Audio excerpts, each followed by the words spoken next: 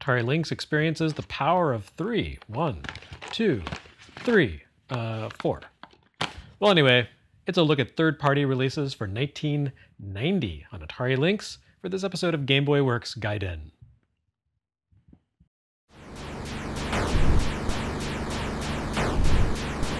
Given Atari's deep arcade roots, the Lynx's library would naturally be weighted toward arcade conversions. Granted, Lynx was owned by Atari Corp., the home computing company owned by Commodore founder Jack Tramiel, while the Atari that was the late 80s arcade powerhouse was Atari Games, a separate entity. But clearly they maintained a cordial relationship, given that a full third of Lynx's 1990 output consisted of Atari Games ports and sequels. It helped too that Lynx's hardware allowed developers to create convincing adaptations of arcade hits.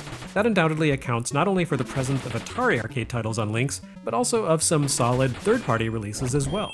Interestingly, all four of 1990's licensed arcade ports for Lynx appeared on Nintendo's Game Boy or NES as well, for a true apples to apples comparison against Atari's competition, namely the Game Boy. One point of interest with these games, so far as I can tell, these licensed adaptations were handled in-house by Atari and Epyx Talent. This would likely account for why Lynx's release schedule was so sparse compared to Game Boy's. Rather than relying on licensees to adapt their work, Atari had to do the heavy lifting themselves, which makes the high quality of these ports all the more remarkable, given the time crunch involved. Also notable is that many of Lynx's licensed arcade titles hail from manufacturers with close ties to Atari. Namco and Atari had a long-standing relationship that had strengthened as the two companies buckled down to compete with Nintendo's NES, and both Midway and Williams became connected to Atari at the hip in 1986 as part of the latter company's post-crash sell-off. When it comes to Namco and Tengen's Lynx conversion of arcade classic Ms. Pac-Man, the direct comparison to Game Boy actually works out in Lynx's favor. For one thing, Nintendo's platforms wouldn't see a properly licensed, and therefore widely distributed, version of Ms. Pac-Man until 1993, at least not in the US, the only market where Lynx had any real presence to speak of. 1993 saw Nintendo and Namco finally burying the axe and deciding to be friends again after their mid-80s falling out over Famicom licensing fees. It's also when Ms. Pac-Man arrived on Game Gear, which means Lynx had an exclusive lock on this game for three years. Now, is a three year exclusive on a decade old arcade game really that big a deal? Not really in the grand scheme of things, but it's probably worth noting as one of the few times third party licensing worked out in Lynx's favor over Game Boy. Over on NES, Ms. Pac Man did arrive right around the same time as the Lynx release, as a Tengen title without an official Nintendo license. Since Tengen was an offshoot of Atari, none of those corporate politics applied to Lynx. So, Ms. Pac Man arrived on Lynx well ahead of a proper Game Boy or Game Gear version. The question is, was the Lynx adaptation actually any good? The answer is yes, but it could have been better. Maybe it's the Atari connection, but this conversion of Ms. Pac-Man resembles nothing so much as the Atari 400 home computer version of the original Pac-Man. That's actually not a bad baseline to work from, but it bizarrely fails to take advantage of the Lynx hardware. Pac-Man and its sequels and other games on its hardware have always been poster children for the tragedy of arcade classics that have suffered in being ported to home systems due to resolution discrepancies. Namco designed these early 80s arcade titles around vertical monitors, so moving them to 4 to 3 television screens always means either compressing them on the vertical axis or introducing a scrolling feature. Certainly that was the case with Pac-Man on Game Boy, the default mode on that port only gave players a window into about two thirds of the maze at any given time, with the action scrolling up and down to follow Pac Man, and often cropping out the movements of the ghosts. For the Lynx conversion, Atari widely recognized that only being able to see a portion of the maze is a non starter, so they squashed the game along the vertical axis. A lot, actually, since Lynx had a much wider aspect ratio than a standard television did. You see where this is going, right? Lynx was designed to be used vertically. We've already seen two games that rotate the action and the system 90 degrees Klax and Gauntlet. Those format shenanigans didn't even really make sense for Gauntlet, but they'd have been perfect here. Not only was Ms. Pac-Man designed around a vertical screen ratio, its button-free control scheme would have made for a more comfortable play experience than Gauntlet or Klax, which required players to grip and manipulate the system at both the top and bottom. Instead, we get crunched down mazes and tiny character sprites that lose essential details, namely the whites of ghost eyes to predict their movements. It's a baffling choice when the potential for a near-perfect arcade port was right there. Is this a lot of hand-wringing over a minor feature? Sure, but it's not like there's a lot to Ms. Pac-Man. And the original arcade game was the best take on the Pac-Man concept until Pac-Man CE came along decades later, so little details matter. To its credit, the Lynx port does give the impression that its developers attempted to compensate for the compromised visuals through other means. For starters, you can play one of two interpretations of the game. Mode A is the classic arcade original with the four standard mazes, while Mode B introduces a ton of new maze designs that capitalize on the Lynx's resolution. And while I say this game is a button-free experience, it would be more accurate to say it's mostly button-free.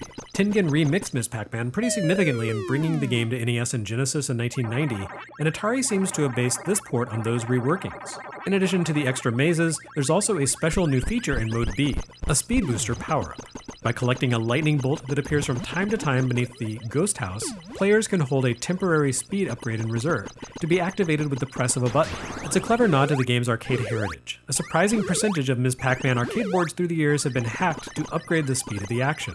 Namco tends not to acknowledge these tweaks. In fact, they tend not to acknowledge Ms. Pac-Man in general thanks to its outside origins, so seeing a long-standing arcade operator tradition incorporated into this adaptation is great. Otherwise, Ms. Pac-Man on Lynx looks good despite the visual crunch. It sounds pretty crisp too, not quite arcade perfect, but solid. And it plays generally well, even if the Lynx's mushy diagonals can impede cornering. This was still nearly a decade away from the Neo Geo Pocket Color and its clicky stick inhibitor collar for Pac-Man and Crush Roller, so we just have to make do. Where Ms. Pac-Man is an undisputed all-time arcade classic, the same can't really be said for Midway's Rampage, a game that is big, stupid, and shallow. But those very characteristics are exactly what made it a great arcade experience. It held up less impressively in home conversions because home systems tended to be poor at big, so mostly Rampage on consoles and computers was just dumb and shallow. Certainly that was the case for the NES port, which shipped in 1988 and really showed off the feeble nature of the console's aging hardware. By comparison, the Lynx rendition might actually be the most impressive home version of the arcade original produced back in the day, period. It compares favorably to the Atari ST and Amiga versions, and it completely demolishes any 8-bit adaptation. That's not just on a visual level either, but in terms of features as well.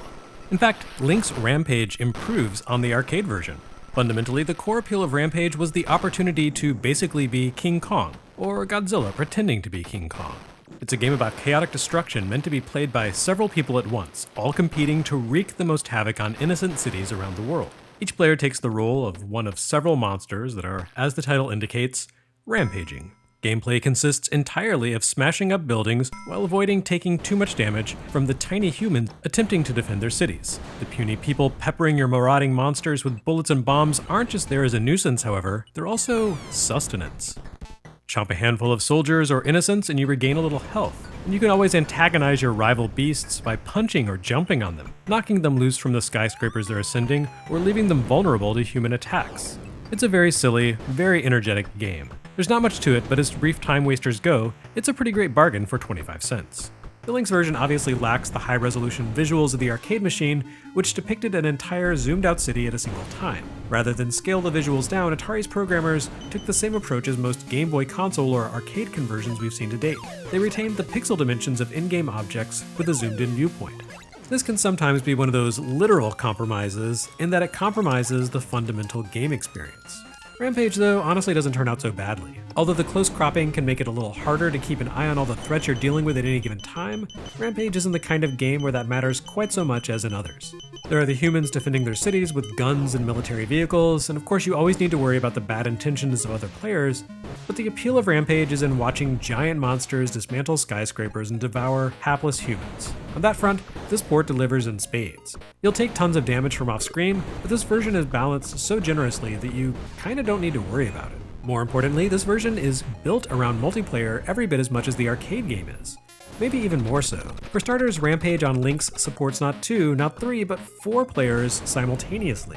The arcade machine was a three-person setup, which means the Lynx port adds a new character, a giant rat named Larry. Larry joins the existing cast of George, a massive ape, Lizzie, the towering lizard, and Ralph, a Brobdingnagian wolf, for theoretically greater havoc than was possible even in the coin-op. Admittedly, the zoomed in viewpoint means that a full four person multiplayer session, if such a thing ever actually happened, would rarely depict all four player avatars at once, but nevertheless, it's a mildly ambitious addition. As far as I can tell, once again not having access to three other people with Lynx systems in this time of pandemic and social distancing, the multiplayer viewpoint follows each individual player's character rather than zooming out or providing a fixed window into the action that forces everyone to cluster together. This allows the action to scroll around as the player moves, giving them a close view of their specific chaos and occasionally bringing other participants into the madness. Admittedly, this doesn't change the fact that Rampage on Lynx is every bit as dumb and repetitive as the arcade game. This version lacks any kind of password system, so reaching the end requires a commitment of a couple of hours and probably an AC adapter for your Lynx. But as arcade conversions go, Rampage on Lynx is as faithful as they could be, with massive graphics, tons happening on screen at any given time, and luxurious four player action.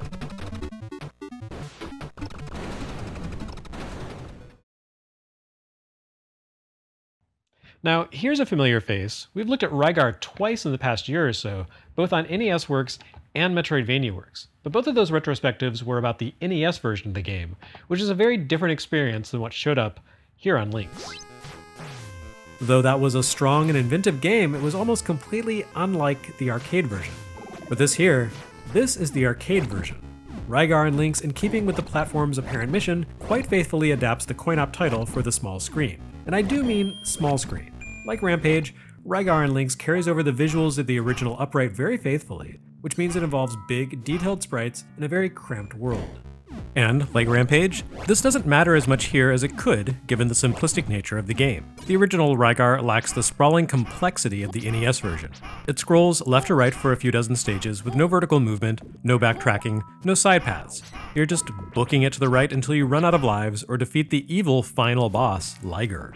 There's not really much to Rygar as seen in arcades, and this version doesn't change that. You are the warrior of Argool, running and jumping to the right, hitting bad guys with your spiked shield on a chain, and occasionally hopping over bottomless pits. At least this version carries over many of the nice little details of the arcade game. The famous sunset is depicted in several of the backgrounds. You can acquire upgrades and time bonuses to extend play. Your protagonist can hop on enemies to stun them. The end of each stage features the same bizarre muscleman statues seen in the arcade, with transitional conduits that you enter by embracing squat monster sculptures and rotating around them. It's a short, slight game, incredibly repetitive, and awfully difficult in places.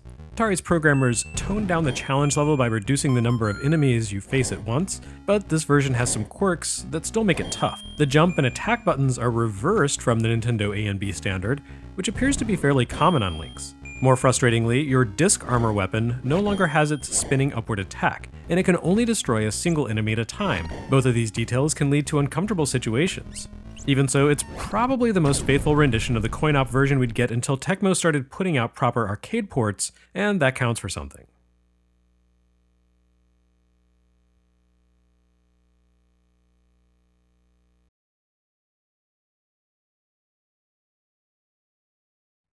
The final third party release for Atari Lynx for 1990 is a conversion of Midway's minor arcade classic Xenophobe, a game whose creators basically said, what if we made an Aliens game, except we didn't bother to get the Aliens license? Unlike Konami and Contra, the answer didn't work out to be Rambo and Dutch shooting their way through an alien's guts, but instead played more like Spy vs. Spy, with Alien. Once again, the Lynx conversion compares admirably to those other renditions, and largely for the same reasons that Rampage fares well here. It embraces the Lynx's capabilities and limitations in equal measure to create a unique but thoughtful take on the property. Not unlike Rampage, Xenophobe supported three-person simultaneous play in arcades, which translated to two or three-player simultaneous action on home conversions. And much like Rampage, Xenophobe on Lynx supports four people playing simultaneously. Also like Rampage, Xenophobe centers its action within Lynx's tiny pixel resolution to focus on each player on their own screen. Great thing about Xenophobe is that it's inherently suited to work with standalone Lynx play. In arcades, Xenophobe split the screen into three separate viewpoints, one following each player. This created three individual mini-screens, each limited to a vertical resolution, yet fairly wide, which describes the Lynx screen to a T. The idea of each player enjoying their own personal screen in linked multiplayer was inherent to handheld gaming, dating way back to long before the advent of Game Boy or Lynx to 1984 and Nintendo's Game & Watch style Yakuman game. Xenophobe is a creepy, stressful, fast-paced game in which players must navigate a series of bases around the galaxy, clearing them of an alien infestation before the base self-destructs. It plays like a combination of the run-and-gun portions of the movie Aliens with the panicked Nostromo evacuation of the original Alien, with an additional element of cooperative competitive play added. You can team up with other players to take on the aliens together, or race ahead of them to try and score the best power-ups and health boosts to improve your survivability. In other versions of the game, you can always keep tabs on the location and progress of other players by glancing at their portion of the screen. Here, that's impossible. I'm guessing here since, once again, I haven't been able to play Lynx Xenophobe with someone else, but I have to assume this increases the sense of isolation you experience as you play, even with an increased player count. Not to mention the Space Marine squad sensation of shouting out your location and tactics to other players, unless of course you intend to go it alone.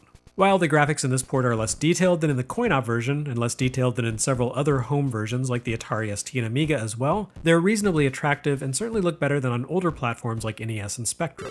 But more importantly, the Lynx version recreates the features and chaos of the arcade game as effectively as you could hope. As in the original, you can arm yourself with a variety of handy weapons ranging from powerful grenades that inflict dangerous, indiscriminate splash damage, electric beams that stun and damage aliens, knives that can quickly cut you free of alien tentacles, and more.